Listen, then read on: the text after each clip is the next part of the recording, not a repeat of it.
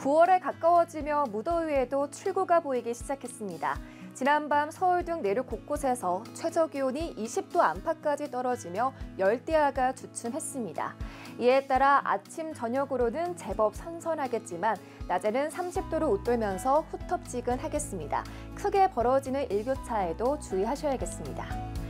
강원 영동과 경북 북동부를 제외하고 전국 곳곳에 수일제 폭염특보가 발효 중입니다.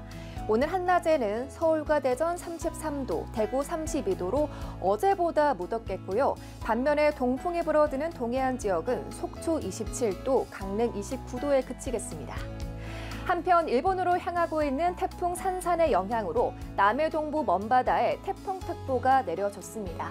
해안가를 중심으로는 돌풍이 몰아치고 강한 너울성 파도가 유입되겠습니다. 또 수도권을 제외한 곳곳에 비 소식도 있습니다. 제주에는 호우특보 발효 중인 가운데 내일까지 최대 100mm 이상, 그 밖에 영남 지역과 강원 영동으로도 최대 60에서 80mm의 비가 예상됩니다. 곳에 따라 시간당 20mm 안팎의 강한 비가 집중돼 주의가 필요합니다. 당분간 30도로 웃도는 무더위도 계속될 전망입니다. 날씨였습니다.